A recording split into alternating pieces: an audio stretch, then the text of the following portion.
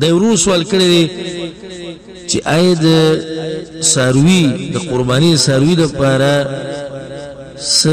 خاص عمر شتي او کنه الجواب غوازیه مسله وزیر ته مختصر بیانو حدیث کې درځي امام مسلم رحمه الله د حدیث راوړل جابر رضی الله عنه چې رسول صلی الله علیه وسلم لا تذبحوا الا مسنه مسینه بالالوي او که درته ملاو نه شو ګرانه وه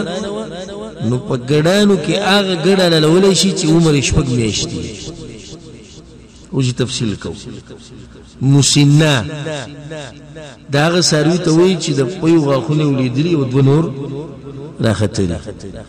نو د اساني دپاره علما عمر ښیي بیزا سمره عمر وي ها کال غوا غلی دو کال می خم دي سي دا اوخ پینځه کال اجازه صرف په یو ساروي کې د ما ذکر کوم ګډ کله نور ته ملاو نشي او ګډ ته ملاويږي شپږو میاشتو لري شپږو نه کال پوري د سره د جایز دی خو دا استثناء صرف په ګډ کې ده بس بیزه کې رغي په نسل کې ده نشته لازم بدی کې ګوري عمر ته او ستا غاخونو ته تاخونه چی ولیدلی د پیو او نور راختلی دوا نو بس د باندې قرباني کیږي